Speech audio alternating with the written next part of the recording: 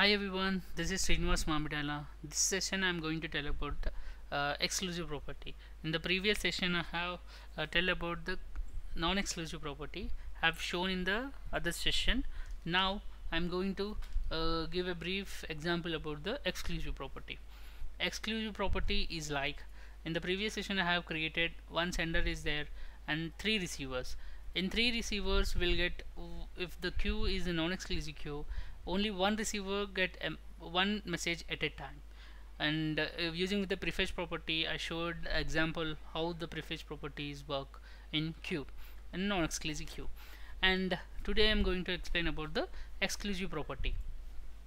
Exclusive property uh, before doing that we need to put a property for the queue that is add property add property queue uh, queue name is Srinivas 1 dot queue uh, property is exclusive.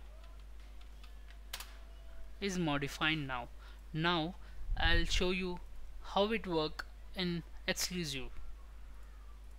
When I run this all uh, receivers and sender when I send the message that only one receiver will get that message.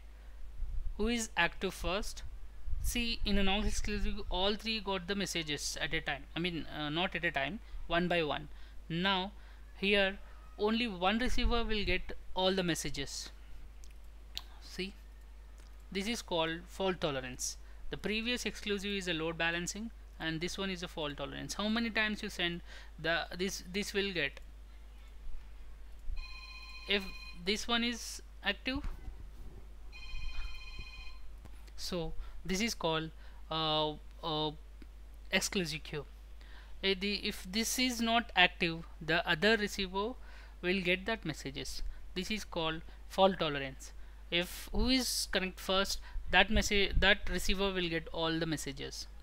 So this is about exclusive property. And in the next session I'm going to tell about um, other activities like JMS queue receiver uh, I have tell. JMS queue requester JMS queue JMS uh, uh, any other like uh, let me show here. JMS queue receiver is over JMS queue sender is over. JMS queue requester JMS get JMS queue message. I'll going to tell about this too in next session. Thank you so much and keep practicing this and mm, and watch my blog and uh, YouTube channel. Thank you so much. Have a nice day